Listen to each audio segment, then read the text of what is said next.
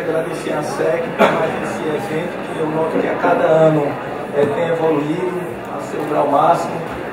E agradecer também a minha família, a minha equipe e principalmente a Deus. Aqui todos presentes é como uma semente. É, as grandes árvores, geralmente elas, quando crescem, elas são inicialmente por uma pequena semente. E essa semente ela vai crescendo, crescendo, crescendo. Boa noite a todos, desejo muito sucesso a todos e muita saúde. Boa noite.